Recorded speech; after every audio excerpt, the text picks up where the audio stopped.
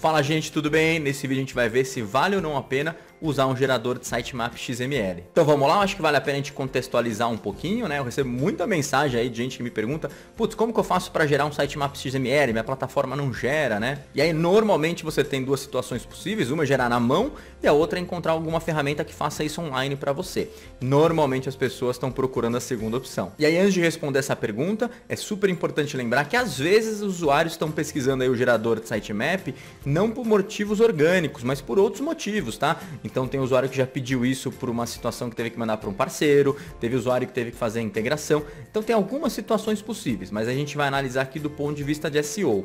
Então vamos lá, vale ou não vale a pena usar um gerador de sitemap XML? Na verdade não. Por que, que não faz sentido você usar isso? Então primeiro a gente precisa entender como que funciona aí um sitemap XML sendo gerado pela sua plataforma. Então ele vai buscar todas as informações aí provavelmente no seu banco de dados, né? Então ele vai conseguir enviar um sitemap com todas as, imagina que você tem um e-commerce, com todas as páginas institucionais, de categoria, coleções e principalmente todos os produtos dentro daquele arquivo XML, que pode ser um arquivo, pode ser vários, né, se você dividir aí no sitemap index. Essa é a maneira correta de se gerar um sitemap XML, inclusive eu falo para todo mundo, se você tem um e-commerce, se a sua plataforma não gera um sitemap XML, cara, troca de plataforma, porque realmente não faz sentido nenhum você ter uma plataforma de e-commerce que não tem o mínimo, né, não te oferece o mínimo de recursos. E isso assim é uma coisa bem simples que a gente pede no dia a dia, né? Né? Não é nada muito sofisticado. Então sempre avaliar isso, inclusive antes de entrar numa plataforma de e-commerce.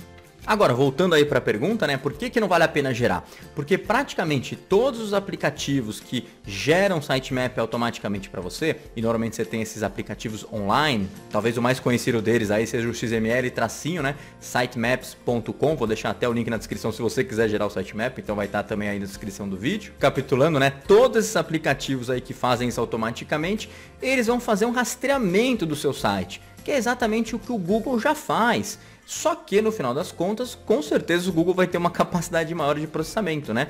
Então o que, que você tem que lembrar aí? Putz, faz sentido usar? No dia a dia, na grande maioria das situações, não faz nenhum sentido.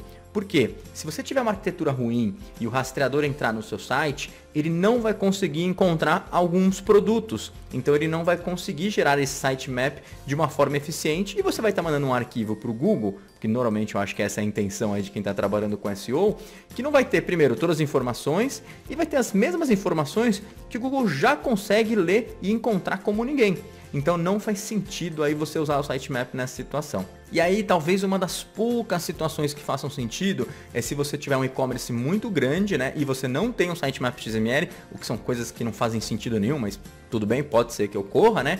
E o seu site é novo, você acabou de colocar ele no ar. Então você quer mandar um sitemap XML para o Google para ele ler essas páginas o mais rápido possível. Então pode ser uma situação interessante. Lembrando que o rastreador que vai criar esse sitemap XML para você, não necessariamente ele vai mandar o arquivo completo, porque ele não tem informação no seu banco de dados.